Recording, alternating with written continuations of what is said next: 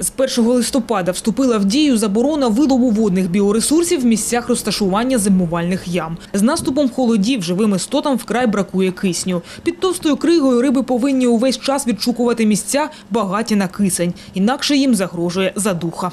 Риба починає е, поводитись неспокійно, е, піднімається на поверхню та починає ковтати повітря. Судаки лязь засинають, коли вміст кисню в одному літрі води знижується до 2 кубічних сантиметрів, а при його концентрації е, 0,5 е, швидко гинуть.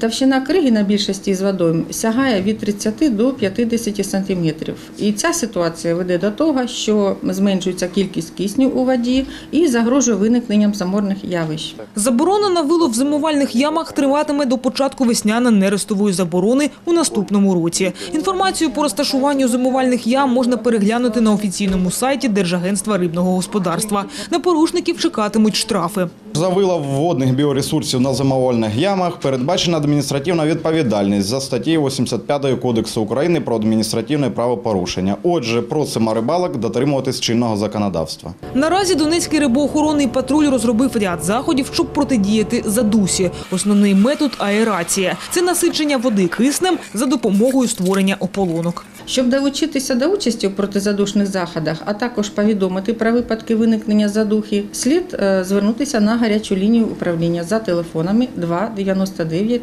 04. Це стосується як рибалок-любителів, так і рибоводів-професіоналів. Бажаючим буде надано план роботи.